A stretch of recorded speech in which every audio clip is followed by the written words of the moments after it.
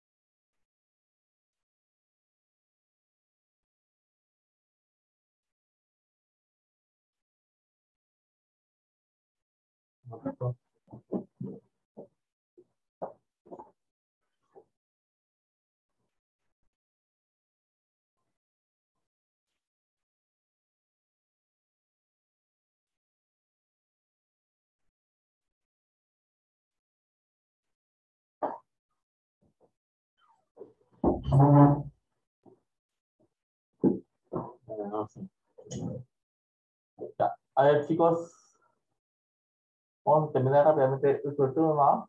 Hoy día nos toca los viajes de Colón. Ya, voy a a ver. Vamos aquí a Camila Pari.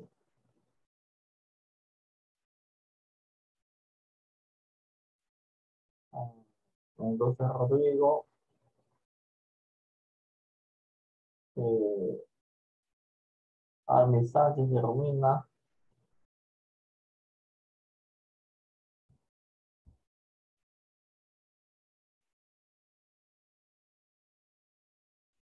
Romina y. Portello.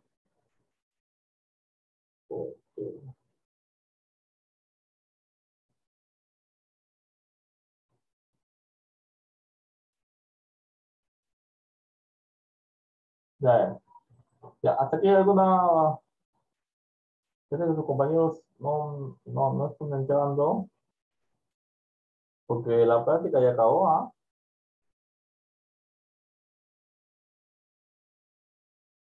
Todos ya acabaron la práctica ya. Salamina no ha venido, Alberto no ha venido. Ya no todos ya acabaron teóricamente, pero no están ingresando. Está rarito, ¿ah? Pero bueno, puede pasar. A ver.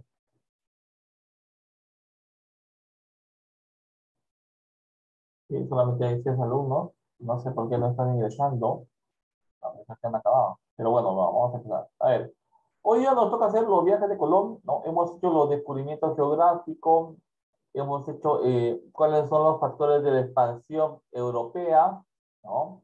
Y, y eh, hemos visto también los, los, avances tecnológicos que propician los, los viajes, expansión, pero ahora vamos a hablar sobre uno de los marinos más eh, famosos históricamente, ¿ya? Es de Cristóbal Colón. Este personaje, vemos aquí nos dice que eh, su vida se va a dar durante todo el siglo XV. Eh, no se sabe exactamente dónde nació, no se sabe, es una incógnita. Algunos dicen que es de Génova, ¿no? Otros dicen que es de Portugal. Hay, hay, hay varios rumores sobre su origen, de dónde, dónde surge este personaje, ¿ya? Pero nos dice, eh, en la mayoría de, de, de, los datos recopilados, ¿no? Eh, nos dice que es de Génova, ¿no? O sea, hay, hay una mayor, este, los investigadores nos dicen que es de Génova y que aparece en el año de 1451. En este año aparece Cristóbal Colón. Desde muy chico se dedica a la navegación. Desde muy chico se dedica a la navegación, pero eh, por cosas del destino, en el, 70, en 476 eh, se hunde su embarcación ¿no? y naufragia. Es ahí que, eh, a pesar de ser este, llega a Portugal, naufragando, llega a Portugal y ahí se queda a hacer eh, su vida prácticamente. Es ahí donde surgen estas ideas sobre encontrar nuevas rutas comerciales. Ahí. ¿ya? Luego nos dice sus ideales. Él plantea que la Tierra es redonda. Había varios indicios ¿no? Y habían descubrimientos, cartas que habían sido eh, puestas por los griegos, ¿no? Entonces, ya había eh, supuestamente investigaciones antiguas, pasadas, sobre que una teoría que la Tierra no era plana, era redonda, ¿no? Entonces, eh, y que, son, y que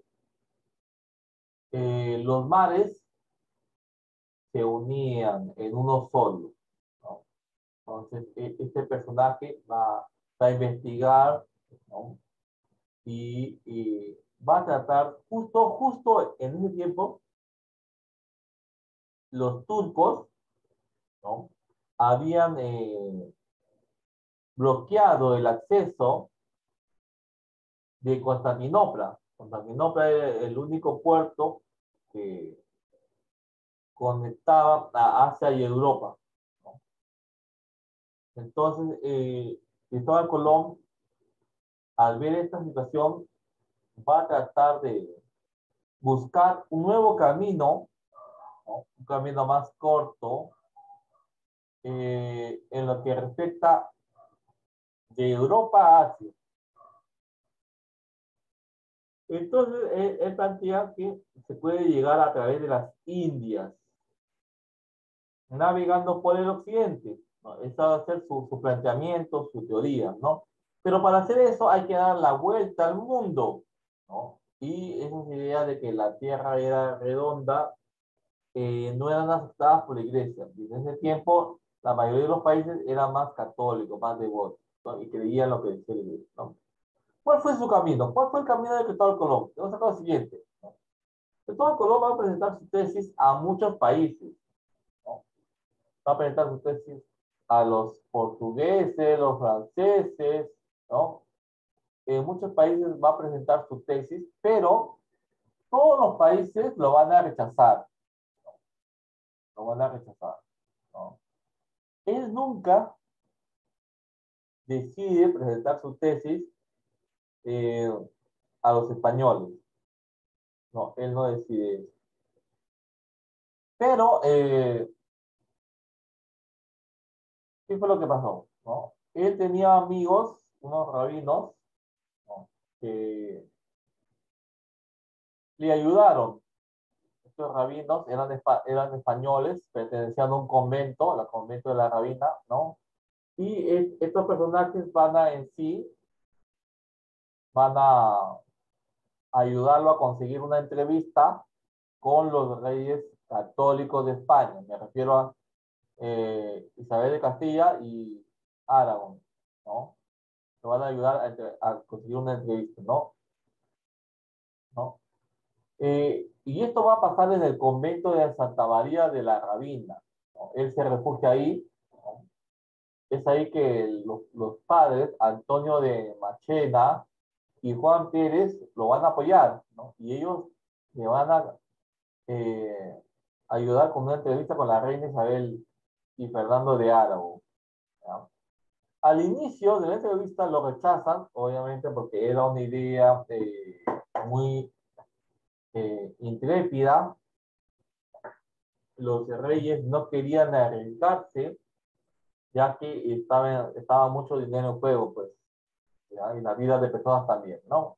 Entonces, eh, cuando se retira Colón, aparece la reina, la reina Isabel, y le dice, le promete que una vez que termine, que se expulse a los turcos, a los árabes, eh, va a ver su casa y lo va a apoyar, ¿no? Entonces, esto es lo que pasa, ¿no? Dicen, lo rechazan, pero después de la reconquista lo reciben con interés, ¿no?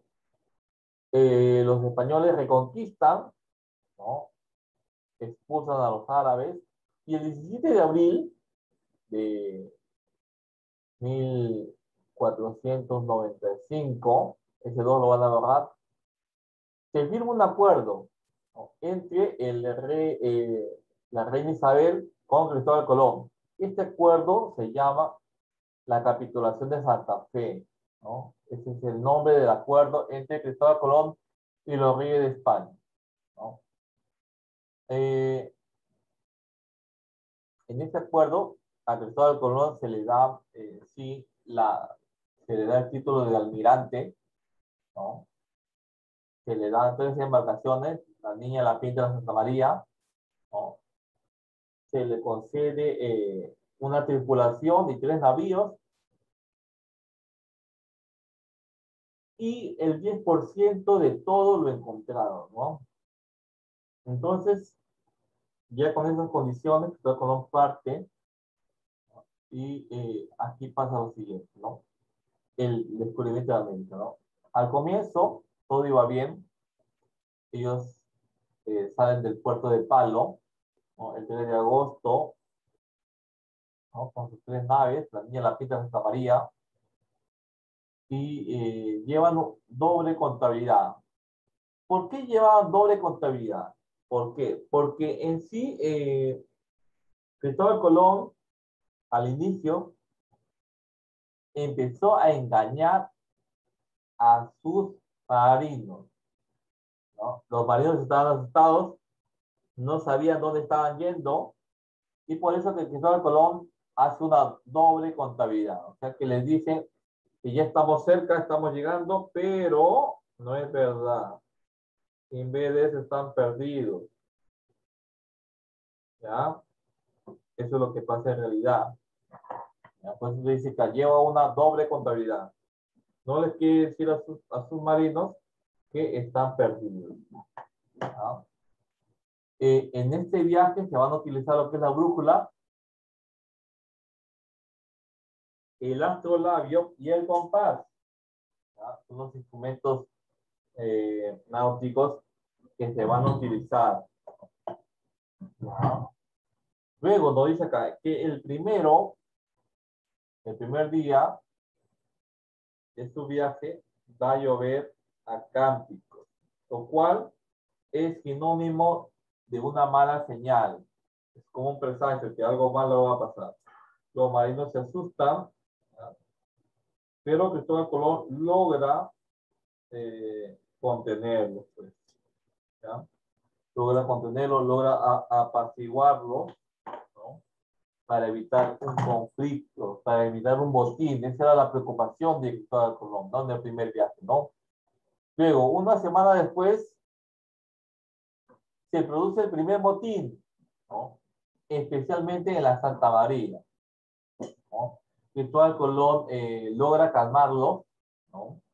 Pero con una condición. Les promete que, eh, que si no llegan a tal fecha, a, la nueva tierra, se darían la vuelta y regresarían a casa. Esa era la condición que les pone Cristóbal Colón. Los marinos aceptan, ¿ya? Y es aquí que el 9 de octubre, ¿no? A pesar de que ya, habían, había un acuerdo entre los marinos, la tripulación y Cristóbal Colón de regresar, no se cumple, ¿no? Seguían, seguían viajando, no veían tierra, los, los marineros estaban preocupados. Y es así que el 9 de octubre se produce una segunda insurrección, una segunda rebeldía. Los marinos se rebelan, ¿no? Y esta vez les promete que si en tres días no llegan, todo se da la vuelta. Entonces, los marinos, eh, una vez más, confían en Cristóbal Colón y el 11 de octubre eh, dieron las primeras gaviotas. Y tú sabes que cuando hay una ave, eso quiere decir que hay tierra, ¿no? Y eso les dio más fe a los marinos. Pero no solamente encontraron naves, sino también trozos de madera, ¿no? Eso quiere decir que algunos barcos habían llegado ahí, pero se habían estrellados. No todos los marinos se empezaron a preocupar, pero ya sabían que estaban cerca de la tierra prometida, el camino. ¿Ya? ¿Hasta acá hay alguna pregunta, chicos? ¿Hasta acá hay preguntas? No, profesor. Ya. Bueno, hasta aquí hemos llegado, jóvenes, ¿no? Eh, vamos a hacer un par de preguntitas, ¿no? Sin nota, obviamente, ¿no? Algo como una especie de repaso. Pero primero vamos a, ver la, la, la asistencia. A ver, de la cruz, ¿no?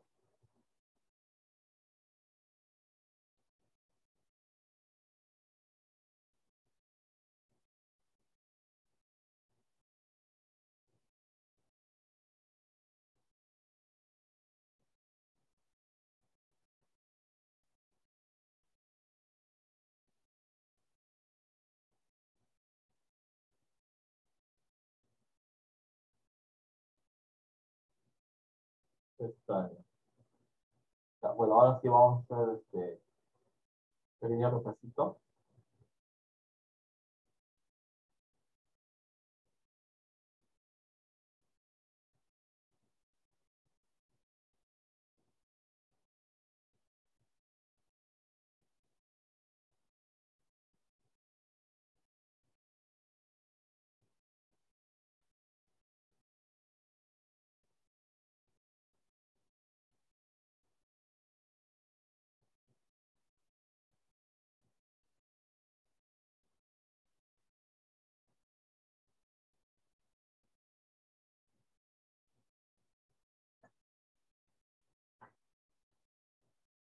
Profesores orales. Sí, un repaso, nada más. No son orales con nota. Es un repaso para ver si esto atento. Los orales y el repaso es la, otra clase. A ver, ¿qué pasó acá? A ver, ¿qué pasó? A ver, otra vez.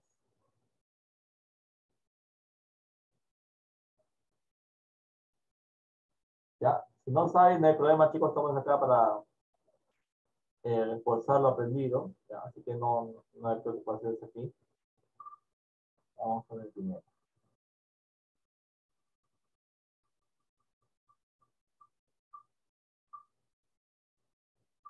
Vázquez Pulca. Bueno, sabemos que Vázquez Pulca no está. Ha venido. Seguimos aquí.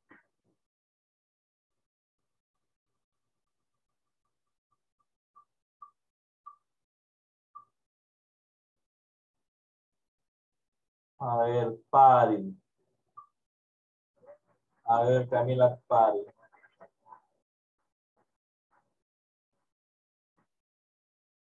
A ver. ¿En qué año naufragia Cristóbal Colón? ¿En qué año naufragia Cristóbal Colón? Pari. Si no lo sabes, no hay problema, pero dilo nomás. Para pasar a la siguiente. 1476. 1476, exactamente, Pari. Felicidades por estar atenta en clase. Seguimos.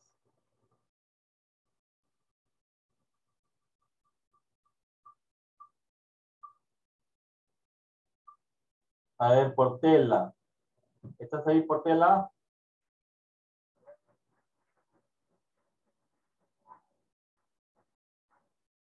¿Estás ahí, Portela? Vamos a ver, Portela. ¿Qué pasa? Sí, sí está, pero no contesta. Portela. Ah, bueno. Seguramente está ocupado. Vamos a ver. A ver. Vergara. A ver, Vergara.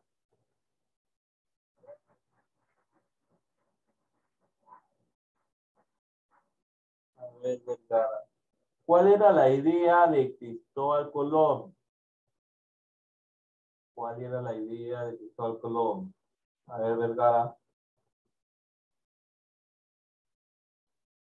A ver, Vergara. No, idea era que la Tierra era redonda, Vergara. No te preocupes, ¿no? Que solamente había un solo océano, ¿ya? Y que había una ruta, una forma de llegar de Europa a Asia. ¿Ya, Vergara?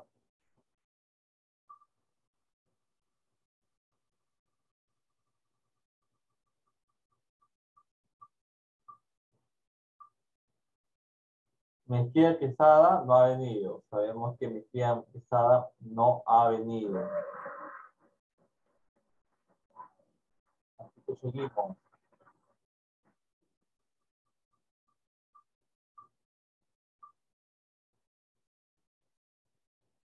Palomino. También sabemos que Palomino no ha venido. O hasta ahora no viene.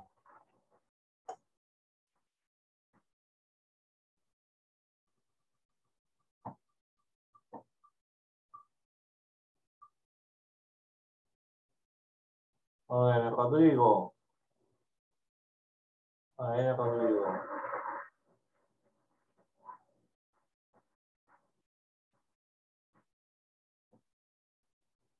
Rodrigo, la pregunta es la siguiente.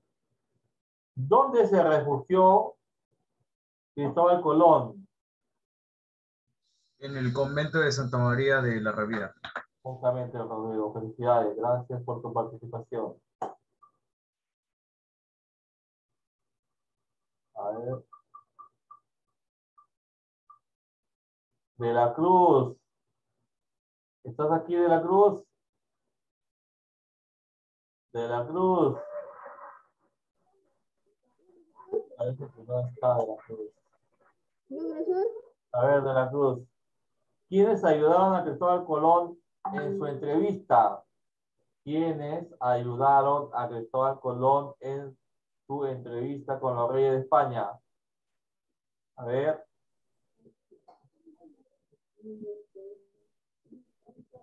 Eso no lo escuché, ¿me puedes repetir? ¿Quiénes ayudaron a Cristóbal Colón en su entrevista con los reyes de España?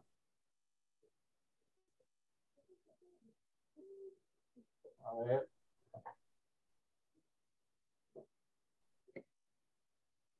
Parece que tienes problema con tu, con tu, con tu audio. Ya no te preocupes. Fueron dos, ya. Antonio de Machena y Juan Pérez de Juan Pérez, los que ayudaron a Ajá. Colón. No, ya. Entonces, tienes que, tienes que eh, preparar tu audio. ¿ah? Ahí, pues los demás están escuchando. A ver. Barrientos. Sabemos que Barrientos no está, no ha venido Barrientos. A ver, ahorita. No hay Barrientos aquí. No está Barrientos.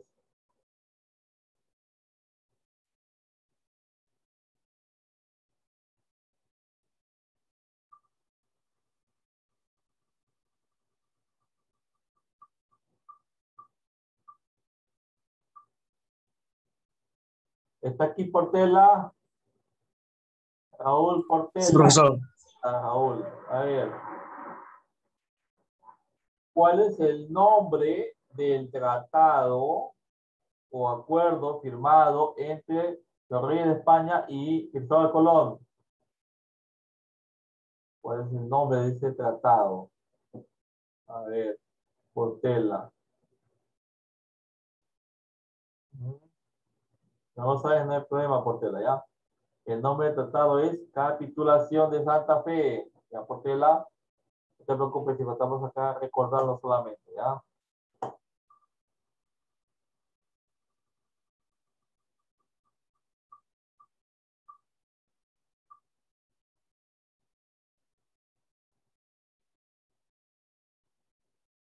A ver. La Rosa Romina. ¿Estás aquí, Romina? Sí, Está Romina ahí. A ver, Romina, la siguiente pregunta es la siguiente. Eh, ¿Dónde partió Cristóbal Colón con su embarcación? ¿De qué puerto partió Cristóbal Colón? A ver. ¿De qué puerto partió?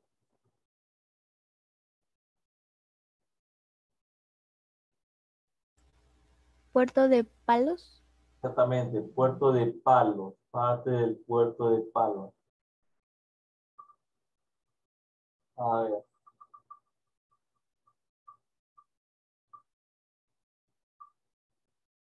Vázquez Ruiz. Vázquez Ruiz, no está Vázquez Ruiz. No, está. No ha venido todavía.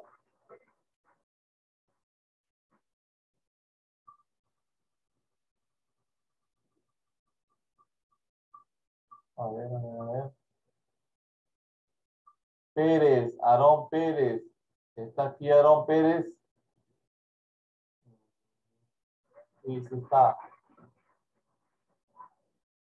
A ver, Pérez, Pérez no tiene micro. A ver, Pérez, la pregunta es para ti. Nos dice ahí. ¿Qué pasó el primer día del viaje de Cristóbal Colón? ¿Qué pasó el primer día del viaje de Cristóbal Colón? A ver, Pérez. ¿Qué pasó el primer día del viaje Cristóbal Colón? Pérez. A ver. No te preocupes si no lo sabes, Pérez. Estamos para repasar. Estamos repasando. Llovió a cántaros, Pérez. Llovió a cántaros. Tanto que em, la tripulación se empezó a desesperar. A ver. Armi Sánchez. ¿Está aquí Armi Sánchez? Sí, profe. A ver. A ver.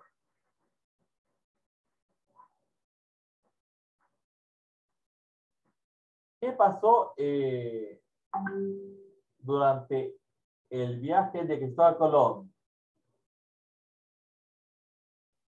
A ver. ¿Qué pasó durante el viaje de Cristóbal Colón? A ver,